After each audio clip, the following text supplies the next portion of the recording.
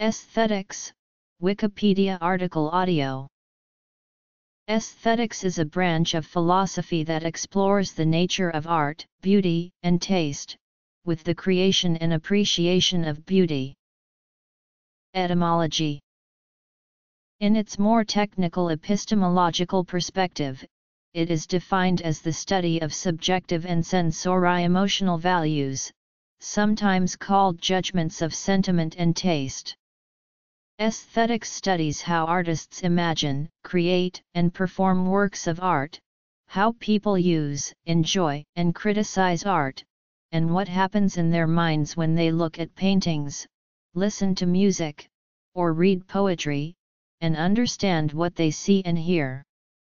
It also studies how they feel about art, why they like some works and not others, and how art can affect their moods, beliefs, and attitude toward life. More broadly, scholars in the field define aesthetics as critical reflection on art, culture, and nature. In modern English, the term aesthetic can also refer to a set of principles underlying the works of a particular art movement or theory. One speaks, for example, of the Cubist aesthetic. The word aesthetic is derived from the Greek alpha sigma theta eta tau iota kappa, which in turn was derived from alpha sigma theta nu omicron mu alpha iota. The term aesthetics was appropriated and coined with new meaning by the German philosopher Alexander Baumgarten in his dissertation Meditations Philosophici de non nullis ad poma pertinentibus in 1735. Baumgarten chose aesthetics because he wished to emphasize the experience of art as a means of knowing. Aesthetics, a not very tidy intellectual discipline, is a heterogeneous collection of problems that concern the arts primarily but also relate to nature. Even though his later definition in the fragment Aesthetica is more often referred to as the first definition of modern aesthetics. Aesthetics and the philosophy of art. Aesthetics is for the artist as ornithology is for the birds. Aesthetic judgment, universals, and ethics. For some, aesthetics is considered a synonym for the philosophy of art since Hegel, while others insist that there is a significant distinction between these closely related fields. In practice, aesthetic judgment refers to the sensory contemplation or appreciation of an object, while artistic judgment refers to the recognition, appreciation, or criticism of art or an artwork. Aesthetic judgment Philosophical aesthetics has not only to speak about art and to produce judgments about artworks, but has also to give a definition of what art is. Art is an autonomous entity for philosophy, because art deals with the senses and art is as such free of any moral or political purpose. Hence, there are two different conceptions of art in aesthetics, art as knowledge or art as action, but aesthetics is neither epistemology nor ethics. Factors involved in aesthetic judgment Aestheticians compare historical developments with theoretical approaches to the arts of many periods. They study the varieties of art in relation to their physical, social, and culture environments.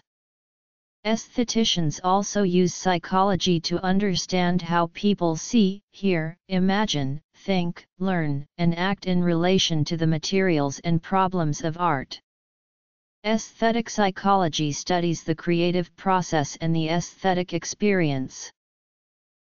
Aesthetic universals Judgments of aesthetic value rely on our ability to discriminate at a sensory level. Aesthetics examines our affective domain response to an object or phenomenon.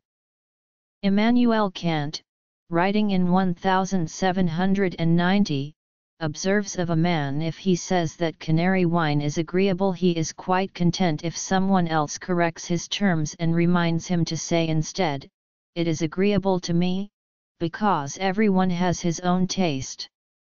The case of beauty is different from mere agreeableness because, if he proclaims something to be beautiful, then he requires the same liking from others, he then judges not just for himself but for everyone, and speaks of beauty as if it were a property of things. Aesthetic judgments usually go beyond sensory discrimination. For David Hume, delicacy of taste is not merely the ability to detect all the ingredients in a composition, but also our sensitivity to pains as well as pleasures, which escape the rest of mankind. Thus, the sensory discrimination is linked to capacity for pleasure. For Kant enjoyment is the result when pleasure arises from sensation, but judging something to be beautiful has a third requirement, sensation must give rise to pleasure by engaging our capacities of reflective contemplation. Judgments of beauty are sensory, emotional, and intellectual all at once. Aesthetic ethics New criticism and the intentional fallacy. Derivative forms of aesthetics. Postmodern aesthetics and psychoanalysis. Viewer interpretations of beauty may on occasion be observed to possess two concepts of value, aesthetics and taste. Aesthetics is the philosophical notion of beauty. Taste is a result of an education process and awareness of elite cultural values learned through exposure to mass culture. Bourdieu examined how the elite in society define the aesthetic values like taste and how varying levels of exposure to these values can result in variations by class, cultural background, and education. According to Kant in his book on the critique of judgment, beauty is subjective and universal, thus certain things are beautiful to everyone. In the opinion of Władysław Tatarkiewicz, there are six conditions for the presentation of art, beauty, form, representation, reproduction of reality, artistic expression, and innovation. However, one may not be able to pin down these qualities in a work of art. Judgments of aesthetical values seem often to involve many other kinds of issues as well. Responses such as disgust show that sensory detection is linked in instinctual ways to facial expressions, and even behaviors like the gag reflex. Yet disgust can often be a learned or cultural issue too, as Darwin pointed out, seeing a stripe of soup in a man's beard is disgusting even though neither soup nor beards are themselves disgusting. Aesthetic judgments may be linked to emotions or, like emotions, partially embodied in our physical reactions. For example, the awe inspired by a sublime landscape might physically manifest with an increased heart rate or pupil dilation, physiological reaction may express or even cause the initial awe. Likewise, aesthetic judgments may be culturally conditioned to some extent. Victorians in Britain often saw African sculpture as ugly, but just a few decades later, Edwardian audiences saw the same sculptures as being beautiful. Evaluations of beauty may well be linked to desirability, perhaps even to sexual desirability. Thus, judgments of aesthetic value can become linked to judgments of economic, political, or moral value. In a current context, one might judge a Lamborghini to be beautiful partly because it is desirable as a status symbol, or we might judge it to be repulsive partly because it signifies for us overconsumption and offends our political or moral values. Aesthetic judgments can often be very fine-grained and internally contradictory. Likewise aesthetic judgments seem often to be at least partly intellectual and interpretative. It is what a thing means or symbolizes for us that is often what we are judging. Modern aestheticians have asserted that will and desire were almost dormant in aesthetic experience, yet preference and choice have seemed important aesthetics to some 20th century thinkers. The point is already made by Hume, but see Mary Mothersill, Beauty and the Critic's Judgment, in the Blackwell Guide to Aesthetics, 2004. Thus aesthetic judgments might be seen to be based on the senses, emotions, intellectual opinions, will, desires, culture, preferences, values, subconscious behavior, conscious decision, training, instinct, sociological institutions, or some complex combination of these, depending on exactly which theory one employs. A third major topic in the study of aesthetic judgments is how they are unified across art forms. For instance, the source of a painting's beauty smacks differently from that of beautiful music, suggesting their aesthetics differ in kind. The distinct inability of language to express aesthetic judgment and the role of social construction further cloud this issue. The philosopher Denis Dutton identified six universal signatures in human aesthetics. Artists such as Hirschhorn have indicated that there are too many exceptions to Dutton's categories. For example, the installations of the contemporary artist Thomas Hirschhorn deliberately eschew technical virtuosity. People can appreciate a Renaissance Madonna for aesthetic reasons, but such objects often had specific devotional functions. Rules of composition that might be read into Duchamp's Fountain or John Cage's 433 do not locate the works in a recognizable style. Moreover, some of Dutton's categories seem too broad. A physicist might entertain hypothetical worlds in his slash her imagination in the course of formulating a theory.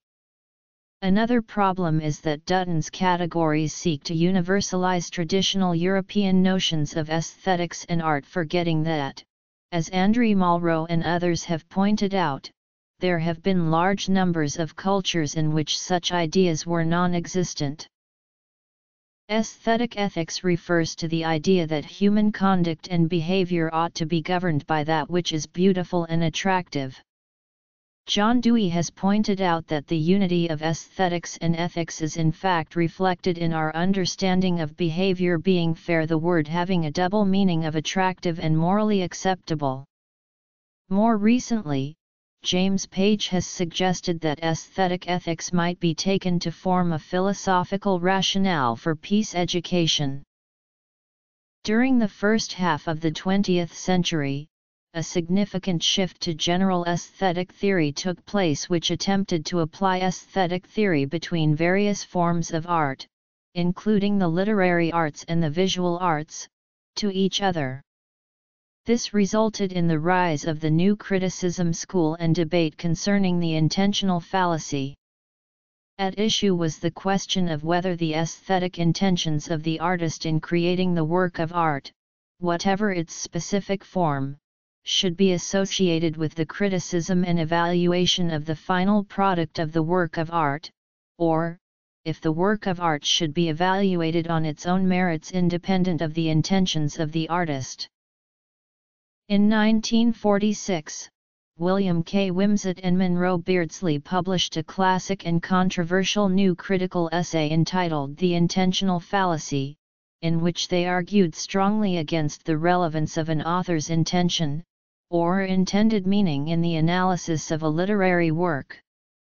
For Wimsatt and Beardsley, the words on the page were all that mattered, importation of meanings from outside the text was considered irrelevant, and potentially distracting. In another essay, The Affective Fallacy, which served as a kind of sister essay to the intentional fallacy Wimsatt and Beardsley also discounted the reader's personal slash emotional reaction to a literary work as a valid means of analyzing a text. This fallacy would later be repudiated by theorists from the reader response school of literary theory. Ironically, one of the leading theorists from this school, Stanley Fish, was himself trained by new critics. Fish criticizes Wimsatt and Beardsley in his essay Literature in the Reader. As summarized by Gaut and Livingston in their essay The Creation of Art, structuralist and post-structuralists theorists and critics were sharply critical of many aspects of new criticism, beginning with the emphasis on aesthetic appreciation and the so-called autonomy of art, but they reiterated the attack on biographical criticism's assumption that the artist's activities and experience were a privileged critical topic. These authors contend that, anti-intentionalists, such as formalists, hold that the intentions involved in the making of art are irrelevant or peripheral to correctly interpreting art. So details of the act of creating a work, though possibly of interest in themselves, have no bearing on the correct interpretation of the work. Gaut and Livingston define the intentionalists as distinct from formalists stating that, intentionalists, unlike formalists, hold that reference to intentions is essential in fixing the correct interpretation of works. They quote Richard Wollheim as stating that, the task of criticism is the reconstruction of the creative process, where the creative process must in turn be thought of as something not stopping short of, but terminating on, the work of art itself. A large number of derivative forms of aesthetics have developed as contemporary and transitory forms of inquiry associated with the field of aesthetics which include the postmodern, psychoanalytic, scientific, and mathematical among others. Early 20th century artists, poets, and composers challenged existing notions of beauty, broadening the scope of art and aesthetics. In 1941, Eli Siegel, American philosopher and poet, founded aesthetic realism, the philosophy that reality itself is aesthetic, and that the world, art, and self explain each other, each is the aesthetic oneness of opposites. Various attempts have been made to define postmodern aesthetics. The challenge to the assumption that beauty was central to art and aesthetics, thought to be original, is actually continuous with older aesthetic theory. Aristotle was the first in the Western tradition to classify beauty into types as in his theory of drama, and Kant made a distinction between beauty and the sublime. What was new was a refusal to credit the higher status of certain types, where the taxonomy implied a preference for tragedy and the sublime to comedy and the rococo.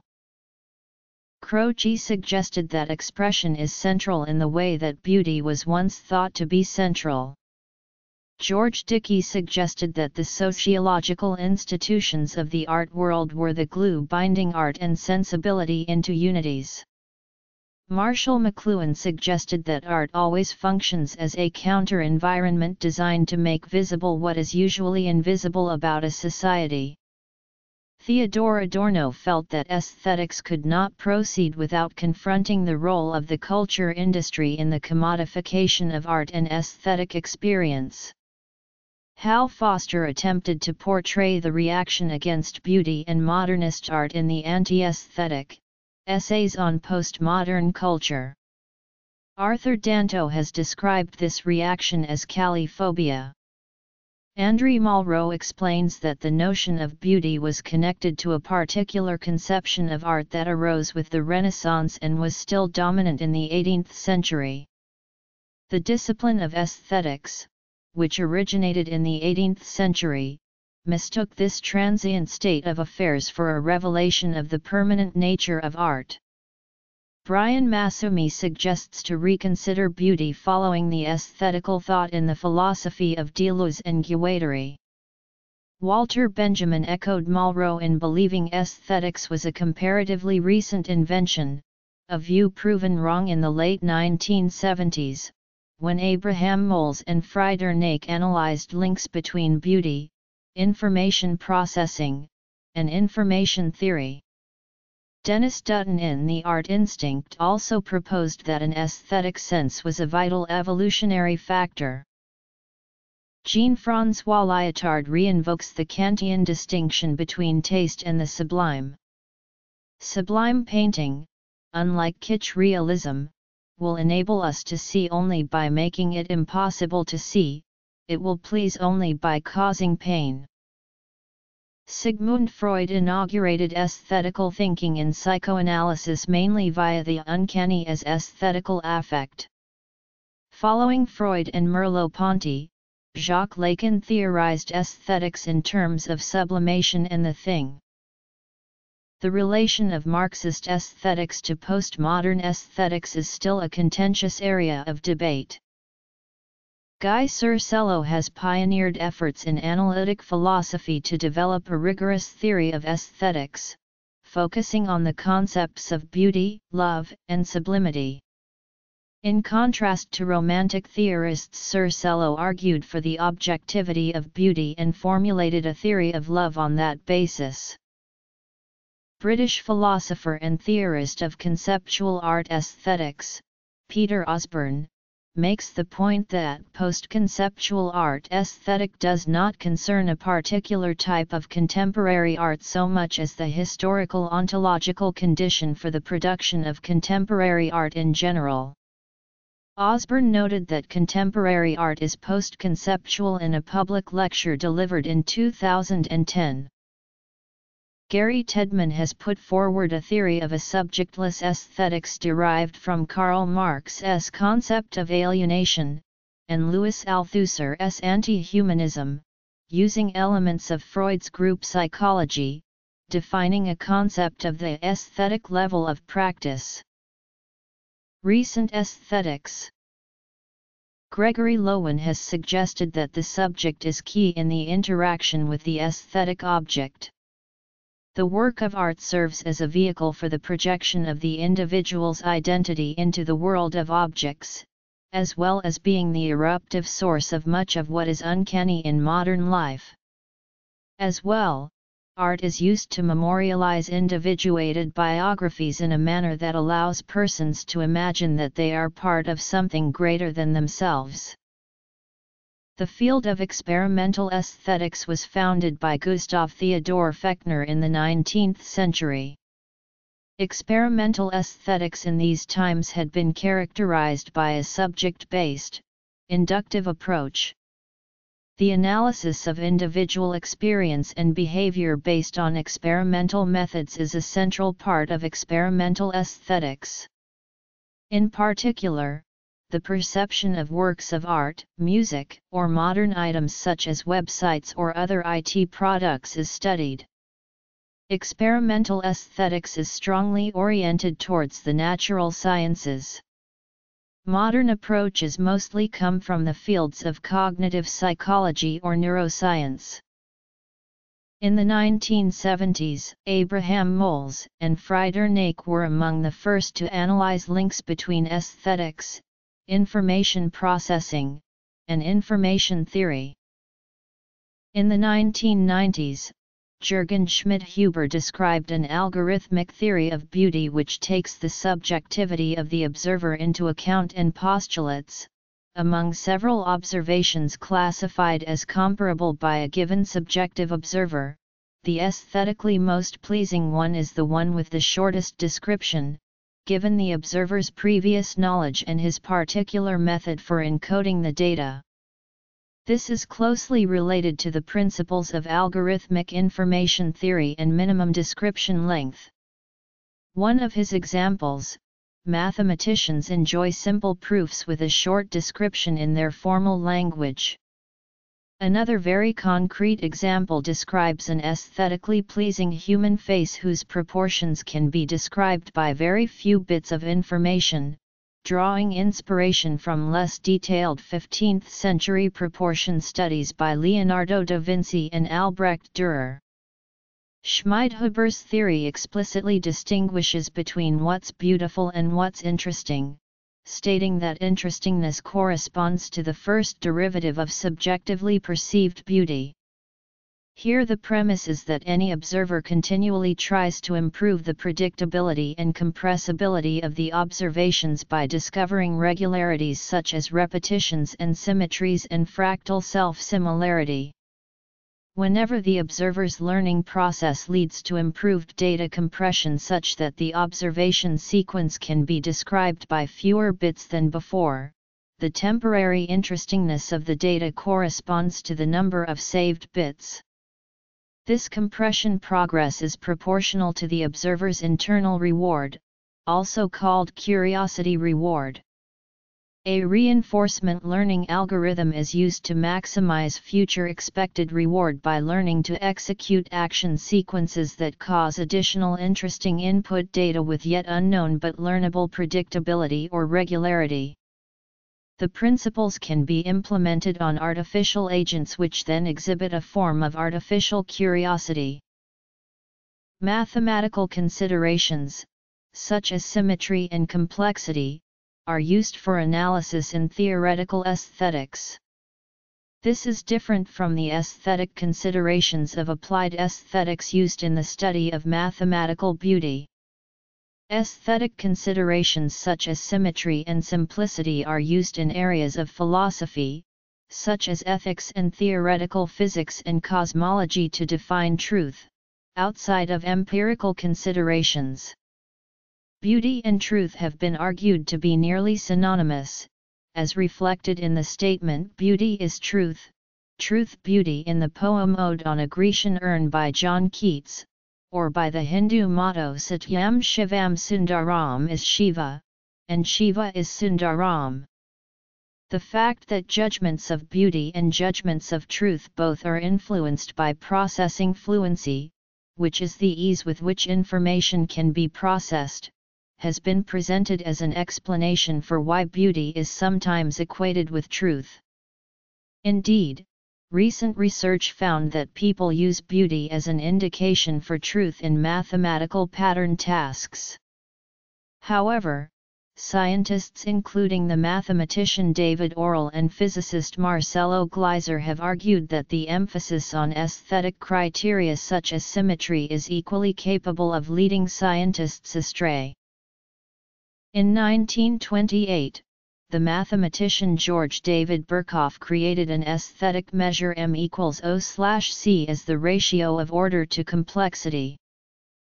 Since about 2005, computer scientists have attempted to develop automated methods to infer aesthetic quality of images. Typically, these approaches follow a machine learning approach, where large numbers of manually rated photographs are used to teach a computer about what visual properties are of relevance to aesthetic quality. The ACQUINE engine, developed at Penn State University, rates natural photographs uploaded by users. Aesthetics and Science There have also been relatively successful attempts with regard to chess and music. A relation between Max Bense's mathematical formulation of aesthetics in terms of redundancy and complexity and theories of musical anticipation was offered using the notion of information rate. Truth in Beauty and Mathematics. Computational Approaches. Evolutionary Aesthetics. Applied Aesthetics. Criticism Evolutionary aesthetics refers to evolutionary psychology theories in which the basic aesthetic preferences of Homo sapiens are argued to have evolved in order to enhance survival and reproductive success. One example being that humans are argued to find beautiful and prefer landscapes which were good habitats in the ancestral environment. Another example is that body symmetry and proportion are important aspects of physical attractiveness which may be due to this indicating good health during body growth.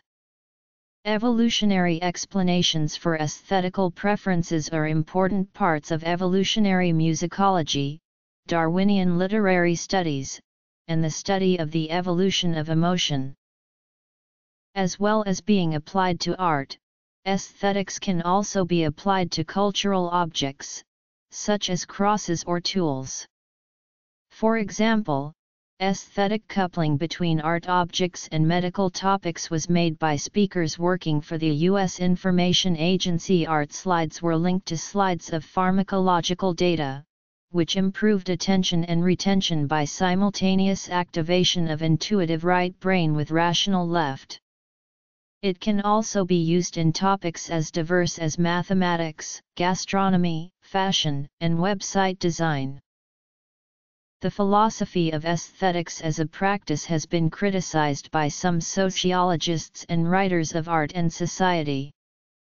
Raymond Williams argues that there is no unique and or individual aesthetic object which can be extrapolated from the art world, but that there is a continuum of cultural forms and experience of which ordinary speech and experiences may signal as art.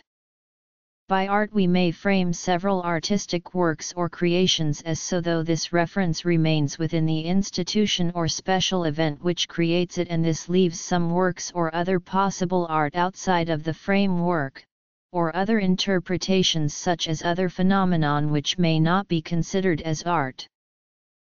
Pierre Bourdieu disagrees with Kant's idea of the aesthetic. He argues that Kant's aesthetic merely represents an experience that is the product of an elevated class habitus and scholarly leisure as opposed to other possible and equally valid aesthetic experiences which lay outside Kant's narrow definition. Timothy Laurie argues that theories of musical aesthetics framed entirely in terms of appreciation, contemplation, or reflection risk idealizing an implausibly unmotivated listener defined solely through musical objects, rather than seeing them as a person for whom complex intentions and motivations produce variable attractions to cultural objects and practices.